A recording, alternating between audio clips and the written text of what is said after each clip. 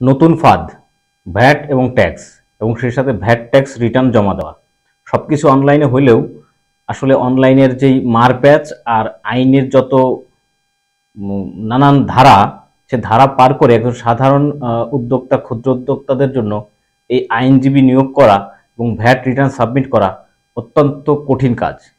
আমি এই সম্মানিত যেই নীতি নির্ধারকগণ আছেন, তাদের প্রতি একদম শ্রদ্ধা সম্মান রেখে বলতে চাই যে আমাদের এই ক্ষুদ্র উদ্যোক্তাদের জন্য অন্তত কিছু জায়গা থেকে যদি সহজ করা হয়, আমরা অন্তত বাঁচি। আমরা এই যে ছোট উদ্যোক্তা যারা আছি, তাদের এই ভ্যাট রিটার্ন সবাই দিতে চায়। আসলে টাকা দিতে চায়, টাকা দিয়ে ভ্যাট অফিসারের পিছনে ঘুরতে হয়। আমাদের অন্তত স্ল্যাব করে দিলে হয় যে, এই স্ল্যাবের পরে এত পরিমাণ টাকা আপনার দিতে হবে। ট্রানজেকশন এত, ভ্যাট এত। আচ্ছা তারপরে যে নিয়ম নীতিগুলো আসবে, সেটার সরকারি দপ্তর থেকে অ্যাসেসমেন্ট করে পরবর্তীতে তার যোগ বিয়োগ করা হবে যে, আপনি এত বেশি দিয়েছেন বা এত কম দিয়েছেন। এটা করলে আমার মনে হয় খুবই ভালো হয়। কারণ বর্তমানে যারা এই যে ভ্যাট রিটার্ন সাবমিট করতে হয় এক একজন লয়ারকে লক্ষ লক্ষ টাকা দিতে হয়।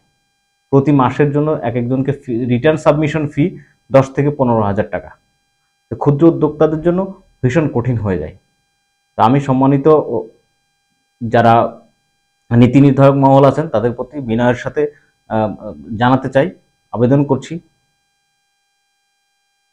আমাদের এই ভ্যাটের এই প্রবলেমটা একটু সহজ করে দিলে ক্ষুদ্র উদ্যোক্তাদের জন্য সুবিধা হয়।